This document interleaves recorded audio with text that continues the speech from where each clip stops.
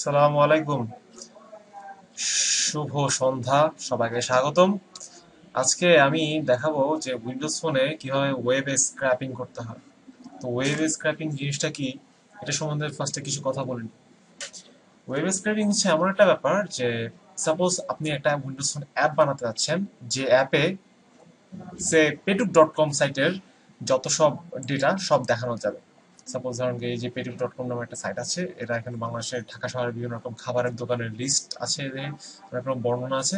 আপনি আছেন এই সাইটটা সাপোজ স্ক্র্যাপ করে আপনার এমন একটা অ্যাপ বানাবেন পেটিভ ডট কমের একটা অ্যাপ সেই অ্যাপের ডেটা আসবে ওয়েব থেকে পেটিভ ডট কমের সাইট থেকে।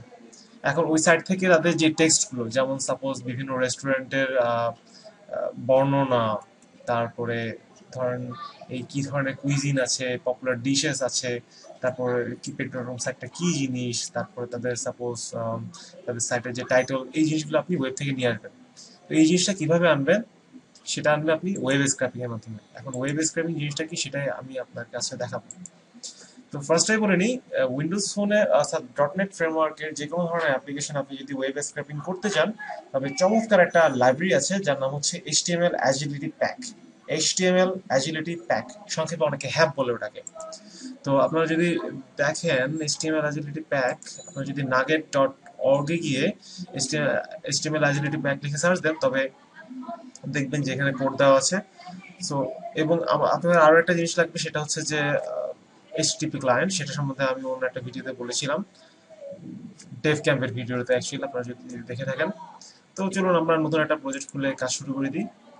সো নতুন একটা প্রজেক্ট খুলি উইন্ডোজ ফোনে start app, Windows Phone Silverlight, uh, web scrap, scrapping 2 আমি একটু আগে প্র্যাকটিস করছিলাম সেটা ছিল ওয়েব স্ক্র্যাপিং এবং আপনার কাছে ওয়েব স্ক্র্যাপিং 2 তে। আমাদের প্রজেক্ট চালু হচ্ছে উইন্ডোজ ফোন 8 এই রাখি।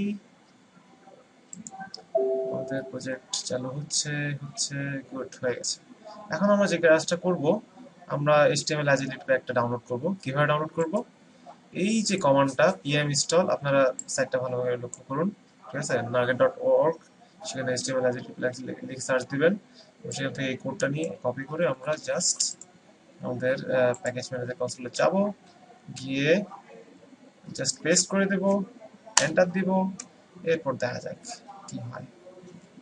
নামছে নামছে ভেরি গুড নামতে থাকুক। ডাউনলোড হয়ে গেছে।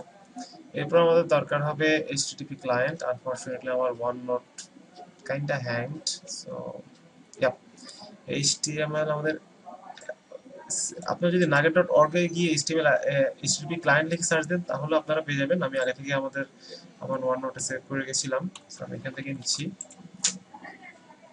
আবার the package manager console package manager console খুব ইজি জাস্ট কুইক লঞ্চে ক্লিক করবেন, লিখবেন C O N S O L console so আসছে আসছে package manager console right click করবেন, চলে আসছে।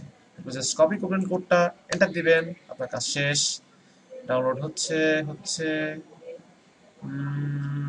successful install good okay so আমাদের মেইন পেজ ডট যেমন তো আমরা এখানে কিছু ডেটা অ্যাড করি, কি সরি কিছু কন্ট্রোল অ্যাড করি কন্ট্রোল কি হতে পারে?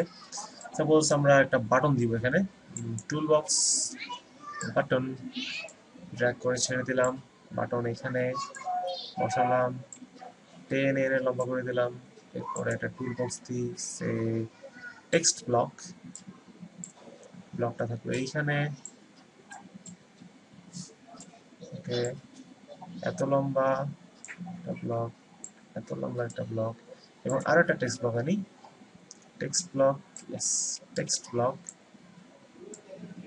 এবং এটা একটু বড় the text block suppose done so এই টেক্সট ব্লকটাকে এখন আমরা যে কাজটা করব, আমরা একটু চাই বাটন বাটন ওকে আমরা যদি একটু দেখি যে বাটনের প্রপার্টিগুলোর দিকে তাকাই তখন দেখব এখানে অনেক হাবি লেখা লেখা লেখা আছে, এগুলো আমাদের দরকার নেই, আমরা একটানে ডিলিট করে দিব। জাস্ট আমাদের কোডটাকে পরিষ্কার পরিচ্ছন্ন রাখার জন্য। ওকে এরপর আমরা যেটা দেখতে পাচ্ছি, বাটন। ভেরি গুড অনেক কিছু ডিক্লেয়ার করা আছে। আমরা একটা ইভেন্ট ডিক্লেয়ার করব। ইভেন্টটা হবে ক্লিক ইভেন্ট এবং সেটার নাম হবে new button event handler right okay এবং টেক্সট ব্লক টেক্সট ব্লক তো এখানে অনেক কিছু আছে, সুন্দর, সমস্যা নেই। টেক্সট ব্লকের নাম দিতে হবে। সাপোজ এটার নাম দিই টাইটেল আর এটার নাম দিই কন্টেন্ট কন্টেন্ট রাইট ওকে আমাদের বেশি কিছু করা লাগবে না। এবার বাটন ক্লিকে সিলেক্ট করে এখানে আমরা কিবোর্ডে F12 চাপি এবং সরাসরি চলে আসি সেই ইভেন্ট হ্যান্ডলারের ভিতরে। এখন আমাদেরকে যে কাজটা করতে হবে রেফারেন্স দিতে হবে। কিসের রেফারেন্স তো এইবারে আমরা বাটন ক্লিক সিলেক্ট করে সেখানে F12 চাপ দেই। তো কি আসছে? আমাদের সেই ইভেন্ট হ্যান্ডলারে চলে আসছি। সেটা হচ্ছে আমাদের main page dot xaml dot CSA এবারে এখানে আমরা একটা স্ট্রিং ডিক্লেয়ার করি suppose string HTML page equal nothing এরপর আমরা যে একটা কোড লিখব আপনারা শুধু দেখে থাকুন, আমি পরে ব্যাখ্যা করব অ্যাকচুয়ালি এখানে কি হচ্ছে। New HTTP client HTTP client declare করার আগে আমাদেরকে এখানে ডিক্লেয়ার করে আসতে হবে। System dot net dot HTTP এবং এইচটিএমএল অ্যাজিলিটি প্যাক ইউজ করার জন্য এখানে ওখান থেকে ডিক্লেয়ার করে আসতে হবে। ওকে দেন আমরা এখন লিখব ও আচ্ছা একটা কাহিনী, সেটা হচ্ছে HTML page equal client dot get string async আমাদের ভিতরে একটা ইউআরএল দিতে হবে। ইউআরএলটা হচ্ছে আমাদের পেটিক ডট কম একটা ইউআরএল petuk com এর ইউআরএল এবং এখানে হচ্ছে একটা রেড স্পিড লাইন দেখা যাচ্ছে এবং আমাকে বলছে এটা একটা অ্যাওয়েটেবল মেথড এটা একটা এসিং মেথড আমাকে এখানে সামনে একটা অ্যাওয়েট লাগাতে হবে। এবং তাতে হচ্ছে না, আমাদের যে মেথড মেথডের ডিক্লারেশন বলতে হবে এটা একটা এসিঙ্ক মেথড সো এইবার আশা করি কাজ করবে। হ্যাঁ করেছে। তো আমাদের যে এইচটিএমএল পেজটা আসলো, আমরা এবার যে কাজটা করব, নতুন একটা ভার ডিক্লেয়ার করি var doc equal new HTML documents এবং এবং আমরা এবার যে স্ট্রিংটা নামলো, এই স্ট্রিংটাতে লিখে দিই টক ডট লোড এইচটিএমএল ভিতরে আমাদের এইচটিএমএল পেজ মেথডটি সরি স্ট্রিংটি ঢুকিয়ে দিই। ওকে কাজ হয়ে গেল। এরপর আমাদের যে টেক্সট ছিল টাইটেল ডট টেক্সট অর্থাৎ আমাদের যে টাইটেল ছিল, এই যে টাইটেল টাইটেল টাইটেল নামে যে টেক্সট বক্স সেটা টেক্সট প্রপার্টির মধ্যে আমরা এবার ঢুকিয়ে দিব doc dot, document note dot, select single note, এরপর আমরা যে কাজটা করব পেটুক ডট কমের সাইটে যাব। আমরা ক্রোমে ওপেন করেছি সো পেটুক লেখাটার উপর মাউসটা নিয়ে রাইট ক্লিক করব ইন্সপেক্ট এলিমেন্টে যাব, দেখব আমাদের এইচটিএমএল কোডটা দেখা যাচ্ছে রাইট তো আমরা যদি একটু খেয়াল করি স্প্যান স্টাইল পেটুক, তারপর একটা টিডি তারপর টিআর তারপর টিবডি তারপর টেবিল সো এই পুরো টেবিলের মধ্যে আমার একটা মাত্র লেখাই আছে রাইট সো আমি যে কাজটা করব সিম্পলি এবং এই টেবিলটা আছে এই ডিভের ভিতরে। তো আমি শুধুমাত্র এই ডিভের কপি এক্সপ্যাথ নিব, করব এবং সেটাকে আমরা গিয়ে এইখানে পেস্ট করে দেবো। কীভাবে পেস্ট করব? এইভাবে পেস্ট করব কপি এক্সপ্যাথ দেখতে পাচ্ছেন এখানে রেড স্কুইগলি লাইন দেখা যাচ্ছে। কারণ হচ্ছে যে এখানে এই ইনভার্টেড কমা এবং এই ইনভার্টেড কমা ক্ল্যাশ করছে। সো এগুলোকে আমরা সিঙ্গেল ইনভার্টেড কমা করে দেবো। ওকে এবং এখান থেকে ডট ইনার টেক্সট ওকে এবং ইনার টেক্সট আসলেও হবে না। ইনার টেক্সটের মধ্যে অনেক রকম স্পেস থাকতে পারে। সেটাকে আমরা ট্রিম করব। ট্রিম একটা মেথড শেষ। এরপর আমরা content dot text equal dot dot document node dot select single node at আবার একদম নিচে একটা বর্ণনা আছে right so right click inspect element div ID Petu ID কি আছে দেখি তো? জাস্ট লেখাটাই আছে। সো কপি এক্সপ্যাথ সেভ করে দেব সিঙ্গেল কমা করে দেব এটাকেও সিঙ্গেল কমা করে দেব dot inner text dot trim right okay এই হচ্ছে আমাদের কাহিনী। ওকে ঠিকঠাক আছে। এবার যদি আমরা আমাদের ইমুলেটর অ্যাপটা রান করি, আমার ইমুলেটর আগে থেকে চালু করা ছিল তো বেশিক্ষণ সময় লাগবে না। ইমুলেটরে যদি রান করি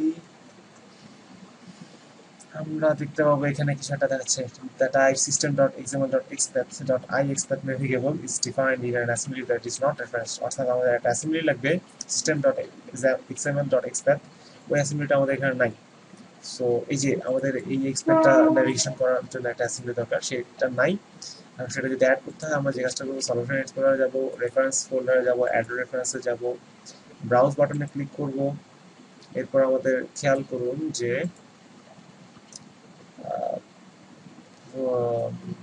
এখানে ঠিক বোঝা যাচ্ছে আমি তোকে একটা ব্লক হেডে বের করেছিলাম। ব্লক ছিল তারেক তারেক আটেইক ডট কম সামথিং এখানে বলা হচ্ছে যে আপনারা programs files x86 micro slash microsoft sdk slash silverlight slash version 4 slash library slash client ফোল্ডারে যেতে।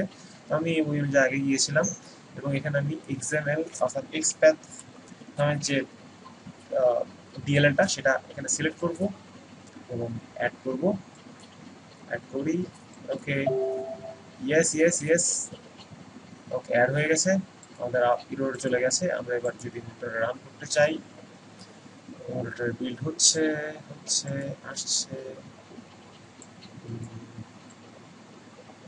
ওকে তো বাটন বাটনে বাটন বাটনে ক্লিক করলেই অ্যাকচুয়ালি ডেটাটা ডাউনলোড হওয়ার কথা। ক্লিক করি, দেখা যাক কি হয়। ডাউনলোড হচ্ছে। Okay nice Petu Petu is a premier network of blah blah blah blah এখন এখানে এগুলো ভাঙলো কেন? ভাঙলো কেন? এটা যদি আমরা জানতে চাই, তাহলে আমরা এখানে একটা ডিবাগিং পয়েন্ট বসাই। এখানে না, এইখানে। এবং এটাকে আবার রান করি। দেখা যাবে কি হয়। ওকে বাটন বাটনে ক্লিক করি আবার। ওকে সামথিং হ্যাপেন কিছু একটা এরর দেখা দিচ্ছে এররটা কি? আচ্ছা নেটওয়ার্ক এরর সমস্যা নেই আমরা আবার রান করি